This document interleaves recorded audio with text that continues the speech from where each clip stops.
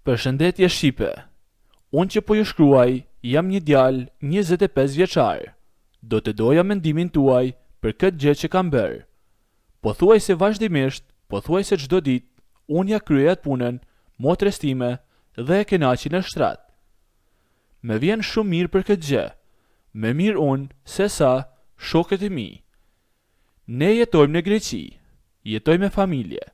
Unë së bashku me prindërit, por kam edhe një motër e cila është tetëmbëdhjetë vjeçare. Dy vitet e fundit ka filluar që të zhvillohet shumë. I është rritur gjoksi në maksimum sa nuk mund t'i rritet më. Po ashtu edhe vithet e saja janë shumë të mëdhaja shkak i palestrës që ajo bën pothuajse çdo ditë. Por unë e kam një problem dhe po vuaj shumë nga kjo gjë. E kam këtë shkopin jashtë normales, e kam shumë të madh dhe sa herë që jam lidhur me femra të ndryshme, ato më janë ankuar për madhësinë e tepërt që ka shkopi im. Çdo herë që e kryej atë punën u shkaktoj dhimbje dhe nuk e di se çfarë të bëj dhe nuk ka asnjë mënyrë se si ta zvogëloj. Por motrës sime kjo gjë i pëlqeu, prandaj ende sot ne e kryejmë atë punën.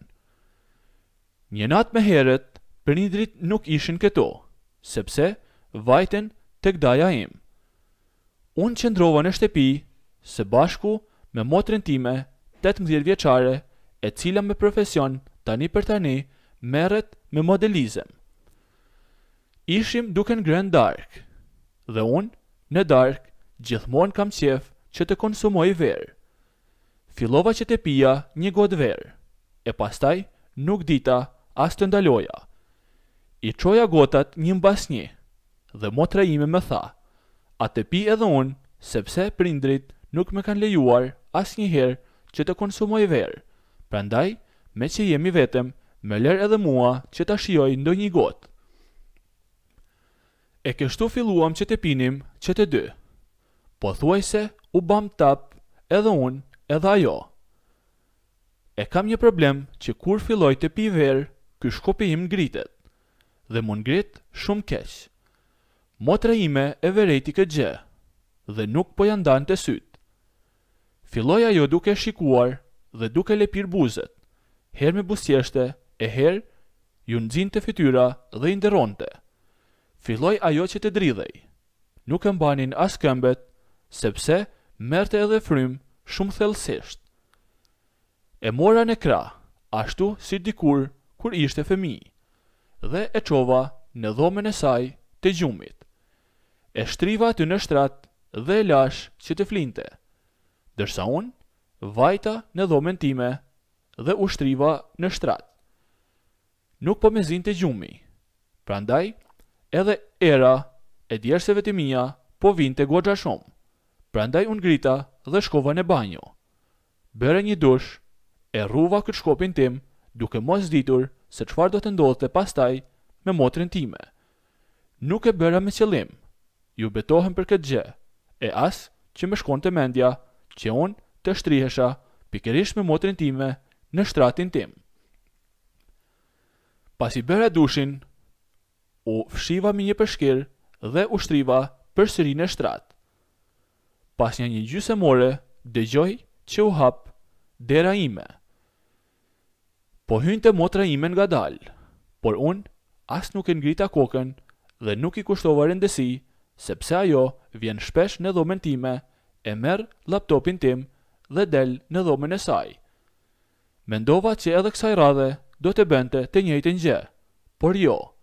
Ajo u ul tek shtrati im.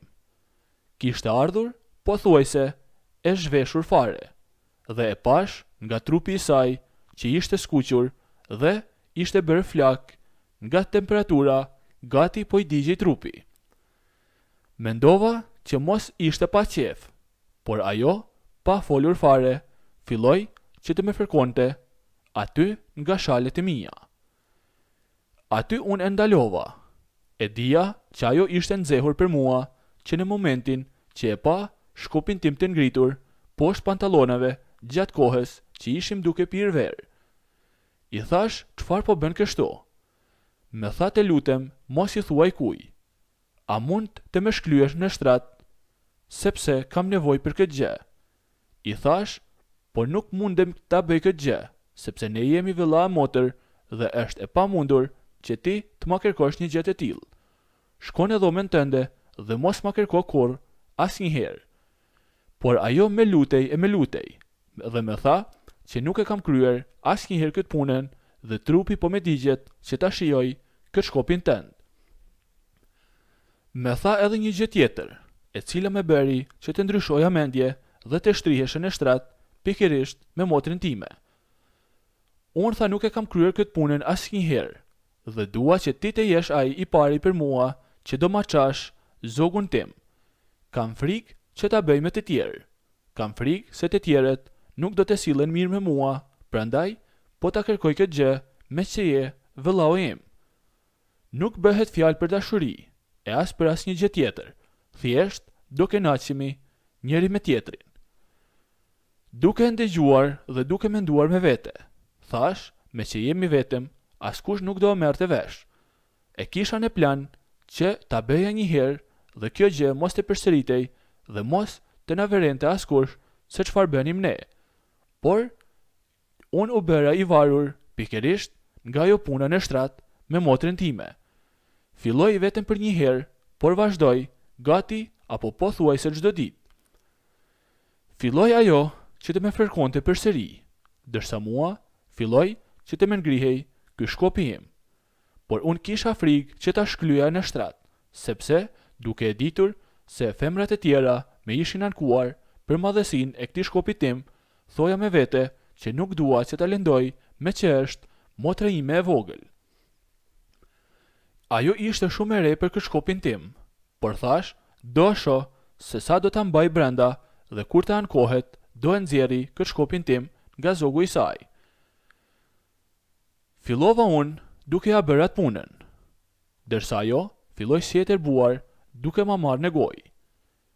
Ajo dinte shumë mirë se si të më kënaqte duke lëpirë shkopin tim, dhe meqë motra ime është pak mbi peshë dhe është e shëndoshë, nuk e dija dhe as si e merrja me mend që pikërisht motra ime nuk do e ndjente fare kërshkopin tim dhe do e merrte brenda të gjithin.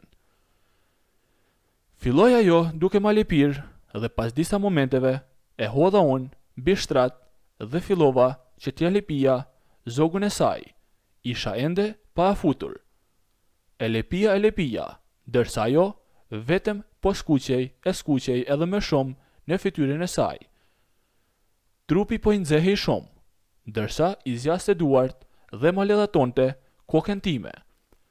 Më kapi për flokësh dhe më ngriti lart, dhe më lutej tek veshi im dhe më thoshte, Të lutem me kujdes, ma çaj zogun sepse mezi po pres. E shtrëngova unë për beli, e dija që meqë ishte hera e parë, ajo do mundohej që të më ikte nga shtrati, por thoja me vete meqë ka ardhur puna deri këtu, nuk do e lë që të dali nga dera pa ja çarë zogun fare. E shtrëngova për beli që ajo mos të lëvizte, e pastaj këtë shkopin tim që e kisha të lagur nga jargët e gojës së motrës sime fillova që ta rrëshqisja brenda zogut të saj. Kisha vështirësi, ajo ishte e ngushtë por nuk e dija që do të ishte aq shumë e thellë. E pashë që isha duke ja humbur vajzërinë dhe në momentin që e shtyva pak me forcë ajo e lëshoi një rënkim të madh. Unë ndala dhe e pyeta si je? Më tha në rregull jam, ti vetëm vazhdo dhe kryeje punën që ke për të kryer. Vazhdova unë duke e shtyrë, por nuk po shkonte ngaqë ajo ishte e terur përbrenda, kishte edhe emocione e po ashtu kishte edhe frikë. Derisa e futa brenda, e kam futur dhe e kam nxjerrur disa herë derisa edhe zogu i saj filloi që të lagej, e pastaj unë duke e shtyrë dhe duke e shtyrë edhe më thellë, ky shkopi im nuk po arrinte që të gjente fundin ashtu siç më kishte ndodhur me femrat e tjera. Motra e gllaberoi të gjithin brenda dhe unë ndjehesha i habitur. Ajo më thoshte disa herë që kishte dhimbje, por njëkohësisht edhe më thoshte që të vazhdoja dhe mos të ndaloja duke ia futur këtë shkopin tim. Këmbët m'i kishte vendosur mbrapa shpinës sime, më kishte mbërthyer me shalët e saja ndërsa unë e fusja deri në fund me një shpejtësi shumë të madhe derisa edhe këto vezët e mia i ndëgjoja se si trokisnin në zogun e saj. Ashtu vazhdova për disa momente, e pastaj i thashë, hip ti sipër dhe ngulitu derisa të mos kesh dhimbje. U shtriva unë në shpinë. Motra u ul, me vithet e saja të mbëdhaja mbi prehrin tim, e mori shkopin tim me dorë dhe e futi përsëri brenda të gjithin. Nëse doni ta ndëgjoni historinë deri në fund, bëjeni videon like, a nëse doni ta përfundoj historinë këtu, bëjeni subscribe, Të gjithë ata që duan ta ndëgjojnë historinë deri në fund bëjeni like videon.